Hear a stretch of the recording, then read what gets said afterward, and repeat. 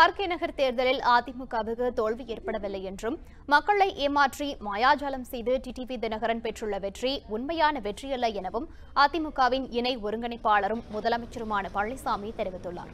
TTV தினகரனும் ஸ்டாலினும் கூட்டு சேர்ந்து இரட்டை இலையை தோற்கடிக்க நினைத்துள்ளதாக குற்றம் சாட்டிய பழனிசாமி அதிமுகவுக்கு துரோகம் செய்த அனைவர் மீதும் நடவடிக்கை எடுக்கப்படும் என திட்டவட்டமாக தெரிவித்தார்.